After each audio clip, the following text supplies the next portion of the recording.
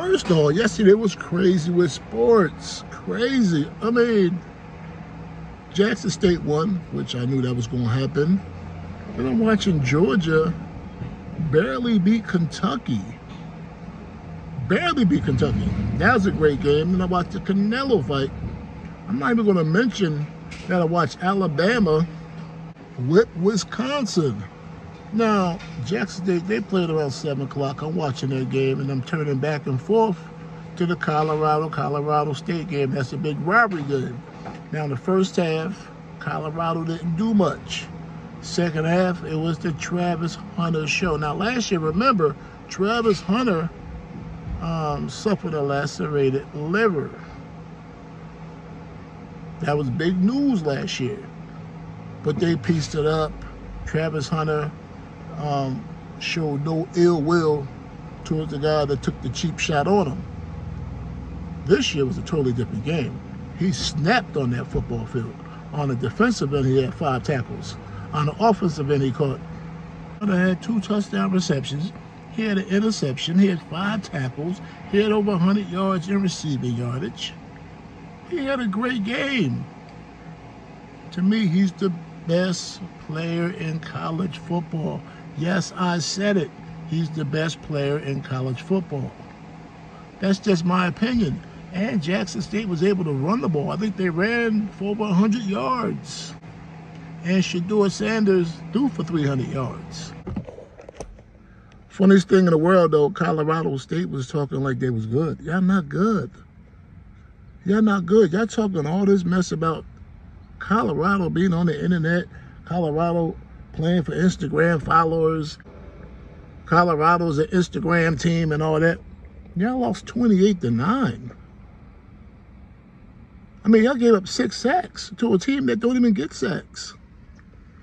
Y'all let Colorado rush for over 100 yards. They rushed for like 40, 50 yards a game. And they had the nerve to talk crazy about Colorado. Now, Colorado played a stellar football game. 300 yards passing, uh, average four yards a carry rushing, six sacks. Travis Hunter showed why he's the best football player in college football. I mean, come on now. Next week they play Baylor. That's a winnable football game. It is. So you let Colorado get up to a three and one start through four games. That's progress. Last year they won four games. This year they're trying to win six and get to a bowl. It's possible. It's doable. Colorado has to play like they played last night to get them six wins. They got to be focused. They got to be locked in. But for Colorado State to be talking like they was good, that's ridiculous. They butt crack. They're not good. They're not. Now, I'm not saying Colorado's a great football team, but they're better than Colorado State. They proved that over the last seven times they played in this classic. Yeah, they got classics on the Power 5 level, on some kind of Rocky Mountain classic. Colorado State thought, okay, we're going to get them. They looked horrible against Nebraska. We're going we're gonna beat Colorado this year. That's what they thought. It's because Colorado looked horrible against Nebraska, they thought, you know what? They're not good. We better than them. So they started popping off on the internet. And they got dogged, they got housed.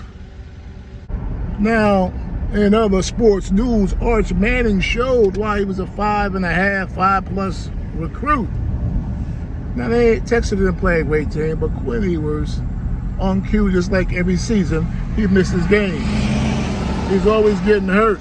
He's always pulling something. He's always doing something where the backup quarterback is going to play. So Arch Manning played and accounted for five touchdowns. Arch Manning is also a mobile quarterback who can run it and throw it. I got to say, about a 4.5 40 at least. He broke a long run. He should be starting somewhere on a Power 5 football team, but he's going to wait his time at Texas. Now, like I said, they ain't playing no powerhouse or nothing like that, but Arch Manning looks good. And he definitely got his wheels from his grandfather because Peyton couldn't run and Eli couldn't run. These guys are aware that Arch Manning he could play next year. If he balls out, he can go to NFL. You are aware of that. But more than likely, Arch Manning will stay in college four years because that's what Mannings do. But if Arch Manning balls out next year and he's projected to be a first round pick, he should go to the NFL. The family business is the NFL.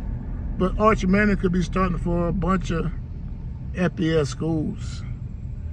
Right now, he's just teasing us by coming off the bench. But who knows how serious Quinn Ewers' injury is? Every year, like I said, about this time of year, he gets hurt. He's not the most durable quarterback. He's not. But they're in good hands having Arch Manning as a backup. Arch Manning is different. If I'm a five-star quarterback, I'm not sitting on nobody bench. I'm gonna let you know that from the jump.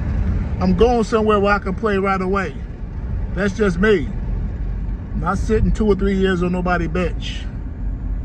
It's not happening. But he's a Manning, so they do things a little different.